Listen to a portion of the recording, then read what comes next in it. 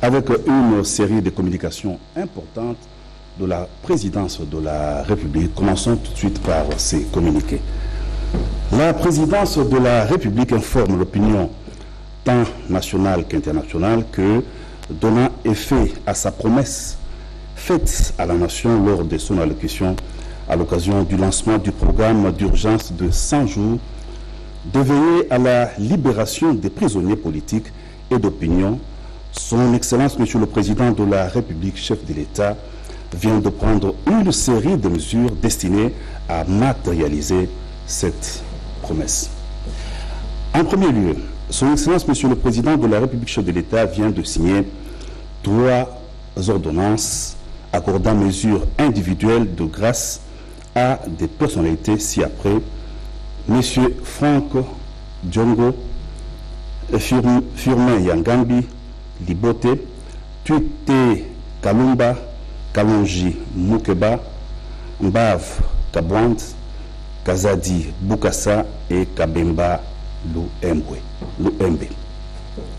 Une ordonnance portant mesures collectives de grâce à toute personne condamnée par une juridiction civile ou militaire à la suite de manifestations publiques ou des réunions politiques intervenues entre le 1er janvier 2015 et le 31 décembre 2018. En second lieu, sur instruction de son Excellence, Monsieur le Président de la République, chef de l'État, le ministre d'État, ministre de la Justice et garde des Sceaux, a pris une série de mesures ayant pour effet la libération des personnes détenues. Il s'agit notamment des arrêtés ministériels numéro 107 et 108 portant mesure de libération conditionnelle des personnes reprises dans les dix arrêtés ayant purgé quarts de leur peine dont la durée d'incarcération déjà subie dépasse trois mois et ayant fait preuve d'amendement pendant la durée de leur incarcération. Un arrêté portant mesure d'exécution de la loi numéro 14 006 du 11 février 2014 portant amnistie pour faits insurrectionnels, faits de guerre et infractions politiques, arrêté qui énumère les noms des personnes éligibles à la loi d'amnistie susdites, mais qui n'ont pas bénéficié de la liberté totale ou ayant bénéficié de l'arrêté de liberté, mais sans jamais avoir recouvré leur liberté. En troisième lieu, le président de la République a instruit le ministre de la Défense nationale et ancien combattant de prendre l'arrêté de libération conditionnelle à effet immédiat de tous les détenus condamnés par les juridictions militaires ayant rempli les conditions légales en la matière. Fait à Kinshasa, le 13 mars 2019, Vital Kamere Wakani Ngini. Justement, je reçois sur ce plateau les directeurs de cabinet du chef de l'État, Vital Kamere. Bonsoir. Bonsoir. Quel est alors votre commentaire par rapport à toute cette série de mesures prises par le chef de l'État? Non, nous ne voulons pas commenter les mesures du président de la République. Ici, nous voulons tout simplement dire à l'opinion nationale et internationale que le président de la République avait promis de procéder à la libération des prisonniers politiques et d'opinion. Il y avait toute une procédure à suivre parce que nous avons le gouvernement et nous devons travailler en relation, en harmonie avec le gouvernement. Donc le ministre d'État de la Justice et Gatso avait été instruit, son cabinet, comme certains experts de la présidence, ont travaillé d'arrache-pied, jour et nuit, pour être dans les délais, puisque à l'occasion du lancement des travaux des 100 jours, le président de la République a fait cette promesse, il a tenu de la concrétiser. Ce sont fait deux. Le président de la République, lors de l'investiture, son investiture, avait dit qu'il va œuvrer pour la réconciliation, le pardon.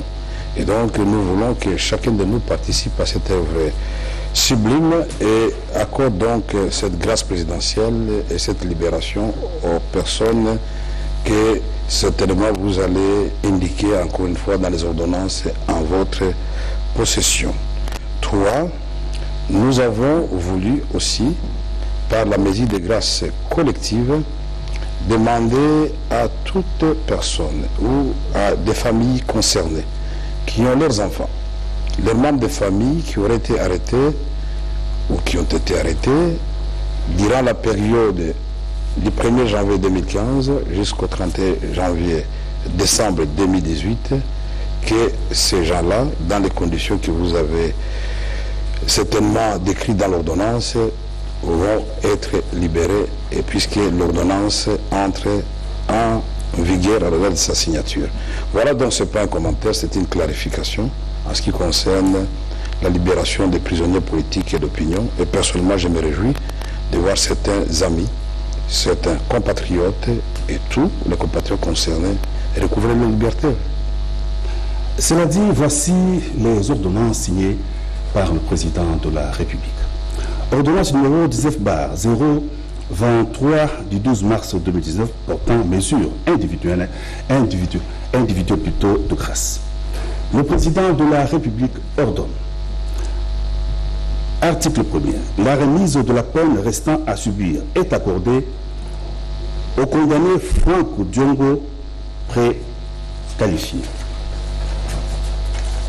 Ordonnance numéro 19 bar 024 du 12 mars 2019 portant mesures individuelles de grâce.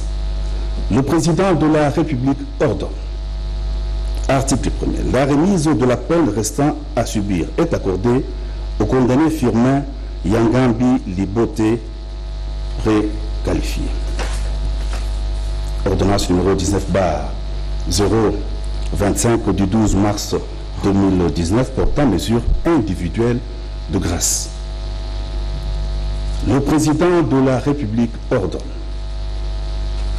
La remise de la peine restant à subir est accordée aux condamnés Tuite Kalumba, Kalonji Mukeba, Mbav Kabwant, Kazadi Bukasa et Kabemba Lumb préqualifiés. Ordonnance numéro 19 bar 026 du 12 mars 2019 portant mesures collectives. De grâce, le président de la République ordonne la remise de la peine de servitude pénale principale ou des travaux forcés restant à subir est accordée à toute personne condamnée par une juridiction civile ou militaire à la suite des manifestations publiques ou des réunions politiques intervenues entre le 1er janvier 2015 et le 31 décembre 2018. Il faudrait aussi souligner ici que la grâce prévue à l'article commun n'est pas accordée aux condamnés fugitifs ou latitants, aux personnes condamnées pour infractions relatives aux violences sexuelles, corruption, concussion, assassinat, meurtre, viol, vol à main armée, trahison, association de malfaiteurs, atteinte à la sûreté intérieure et extérieure de l'État, détention illégale d'armes de guerre et toute infraction contre l'autorité de l'État et l'intégrité du territoire prévu par les articles 195 à 199 du Code pénal congolais, livre 2, crimes de guerre, crimes contre l'humanité et crimes de génocide. Excellence, pouvons-nous dire qu'il s'agit là, c'est tout comme mesure il y en a beaucoup.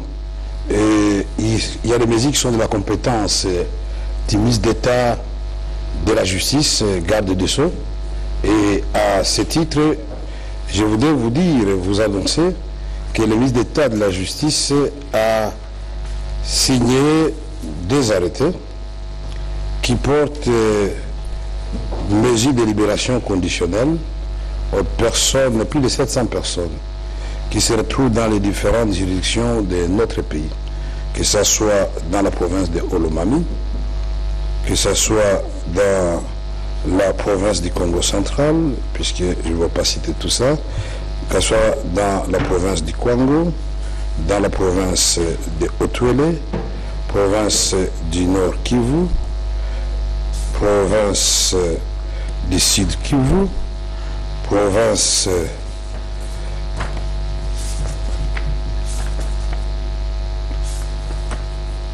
province de Kinshasa.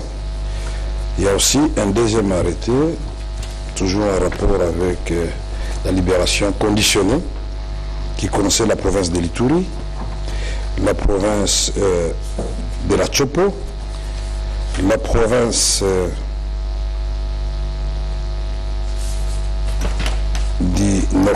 encore une fois, la province du Kassai central, la province, je crois c'est tout, ça a été signé par le ministre d'État de la Justice et garde des Sceaux. A plus de 700 personnes et comme vous l'avez souligné, il y a cette ordonnance portant grâce collective du président de la République et nous avons insisté et précisé que les personnes qui, par inadvertance ou qui seraient l'objet d'un oubli de la part de la commission qui a travaillé, ces personnes-là qui remplissent les conditions de la grâce présidentielle peuvent être considérées comme libres et doivent se signaler. Mais je grâce pour plusieurs personnalités, pourquoi pas en faveur de Jobin Dongala Ah, très bien. Vous avez bien fait de poser la question. Euh, la question de, euh, de Diomin Dongala, effectivement, a été examinée.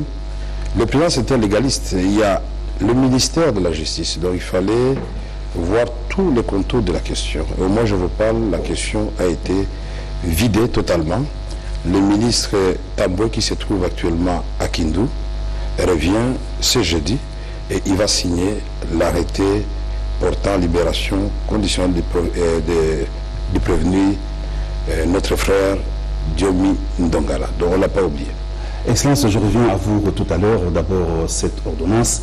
Ordonnance numéro 19 020 du 8 mars 2019 portant nomination d'un assistant du conseiller spécial du chef de l'État en matière de sécurité. Le président de la République ordonne. Est nommé assistant du conseiller spécial du chef de l'État en matière de sécurité, M. Roger Kibé Lissa. Alors, Excellence, il y a aussi des ordonnances, nous apprenons qu'il y a aussi des ordonnances portant suspension des ministres et de deux mandataires. Oui, ce ne sont pas des ordonnances, puisque vous savez, les ministres relèvent du chef du gouvernement. Le président de la République est chef de l'exécutif et il veille au bon fonctionnement de toutes les institutions, surtout à l'éthique, aux mœurs et à la déontologie recommandée aux mandataires publics, surtout à des fonctions aussi nobles et élevées comme celles des ministres. Donc le président de la République a décidé, pas de façon euh, brutale, après que nous ayons discuté avec le Premier ministre à plusieurs reprises sur la question du ministre concerné. Il s'agit du ministre des Affaires foncières, M. Loumeya. Le président de la République avait demandé au Premier ministre lui-même de demander au ministre concerné, Loumeya, de rapporter les arrêtés qui avaient été pris par lui en violation des droits des Congolais et des étrangers, de la propriété tout court, ou des arrêtés pris en violation de la loi. C'est ainsi que ce jour, je viens d'adresser une lettre au Premier ministre au nom du Président de la République pour informer le Premier ministre qu'en considération de nombreuses décisions et divers arrêtés pris par le ministre Loumeya, d'où Malégui, ministre des Affaires foncières, en violation flagrante de la loi et des droits des tiers. Son Excellence, Monsieur le Président de la République, chef de l'État, me charge, là je m'adresse au Premier ministre, de vous instruire de procéder toutes affaires cessantes à la suspension de l'intéressé de toutes ses fonctions de ministre des Affaires foncière et de requérir le procureur général près la Cour de cassation pour l'ouverture d'un dossier judiciaire contre ce ministre. Donc ça, c'est une première action contre l'impunité. Parce que nous ne pouvons pas comprendre que nous ayons tenu plusieurs réunions pour demander au ministre de rapporter ses arrêtés sur des lotissements à des endroits interdits sur l'expropriation des citoyens, le ministre ne fait rien. c'est l'insubordination. Et quand le Premier ministre, à son tour, ne prend pas de décision, le président s'assume. Et donc, vous pouvez considérer qu'à dater de ce jour, le ministre est effectivement suspendu et une action judiciaire sera ouverte à son encontre. Nous avons aussi aujourd'hui adressé à Monsieur le Président de l'autorité de régulation de la poste et des télécommunications au Congo, APTC en sigle, qui relève de la présidence de la République. Nous avons adressé une suspension de toutes ses fonctions à la suite des indices sérieux d'actes de mes gestions à sa charge et tenant compte de l'insubordination dont l'intéressé a fait montre vis-à-vis de la hiérarchie. Et donc, à de la publication de cette lettre que je lui ai adressée, il s'agit d'une mesure très, très importante pour que tous les autres mandataires publics comprennent que c'est effectivement la fin de la récréation. À partir de ce moment, c'est son vice-président qui va assumer son intérim. Nous avons aussi une autre lettre de suspension que nous avons adressée ce jour au Premier ministre chef du gouvernement. Avons posé la question pourquoi pour l'ARPTC nous avons pris la décision directement et adressée à l'intéressé, mais pour le cas de l'entreprise qui sera concernée tout à l'heure, nous passons par le Premier ministre, parce que c'est une entreprise qui est sous tutelle du portefeuille et des ministères des travaux publics, donc le chef du gouvernement doit instruire les ministres concernés pour matérialiser ou prendre acte de la décision du président de la République. Il s'agit de la suspension du directeur général et du directeur général adjoint de la Société congolaise de transport et port, ex-ONATRA. En considération des indices sérieux d'actes de mégestion, achat du directeur général et du directeur général adjoint de la Société congolaise de transport et port, Son Excellence, Monsieur le Président de la République, chef de l'État, m'a chargé d'instruire le Premier ministre qui va à son tour instruire le vice-premier ministre, le ministre des Transports et Communications, et Madame le ministre du portefeuille de procéder toutes affaires cessantes à la suspension des intéressés de leurs fonctions de directeur général et de directeur général adjoint et d'y diligenter une mission d'audit. Voilà, la série va certainement continuer, mais nous n'avons pas fait de l'arbitraire. Donc pour arriver à ces mesures, nous avons pris un mois.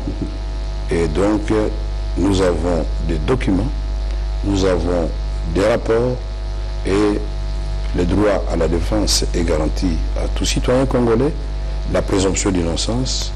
Là maintenant ça devient le travail du procureur la cour de cassation. Séparation des pouvoirs oblige. Oui, Excellence, ce n'est pas tous les jours qu'on vous reçoit sur ces plateaux.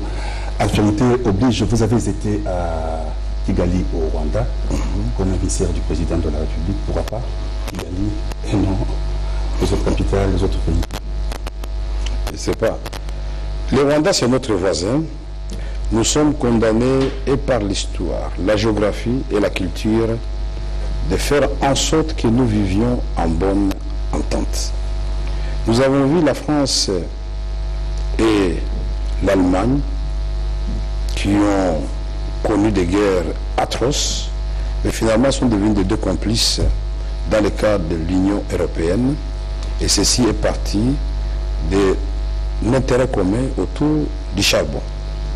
Et aujourd'hui, je crois que les Français comme les Allemands sont en train de savourer cette ère de paix et sont en train justement de faire autre chose que de se battre, ça donnait au travail de l'amélioration des conditions de vie, donc j'allais dire le développement. Donc j'étais porteur du message du président de la République auprès de son homologue du Rwanda, Paul Kagame, justement parce que les gens qui n'ont pas encore en mémoire le discours du président lors de son investiture, il avait dit qu'il allait instaurer avec la collaboration de tous ses pairs la paix dans la région des Grands Lacs, mais la paix et surtout une coopération gagnant-gagnant avec tous nos voisins.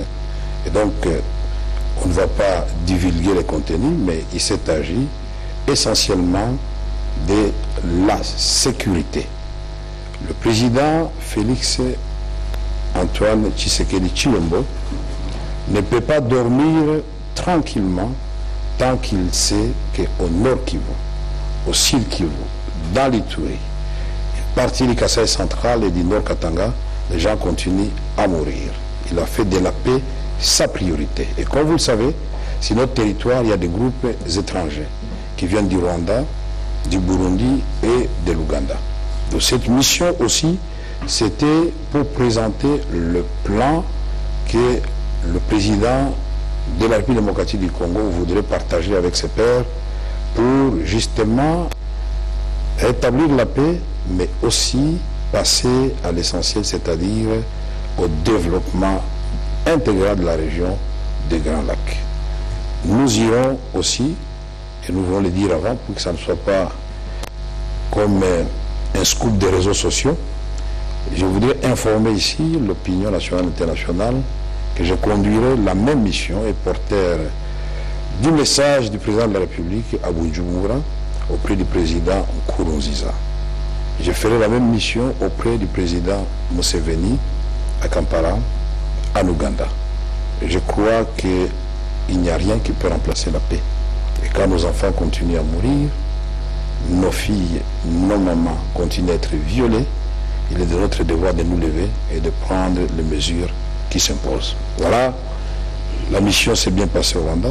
Nous avons vu le président lui-même qui nous a bien accueillis. Nous lui avons donné ces messages sans chériture, sans commenter de notre part. Et nous remercions le gouvernement rwandais pour l'accueil qu'il nous a réservé. Voilà, donc nous vous remercions, Excellence, pour euh, d'être venu plutôt sur ce plateau, pour donner toutes ces précisions. À vous, à vous aussi, Madame, Messieurs, qui nous avez suivis attentivement. Merci donc de nous avoir suivis. Papi gene tolobela vie. Papi gene. Papi gene tolobela vie. Papi gene tolobela vie. Pointi coin moto te o tolobela vie Kuna balobi nini? Kuna balobi nini? Ah balobi nini? Veut dire tolobela vie papi gene Papi gene tolobela vie. Papi gene tolobela vie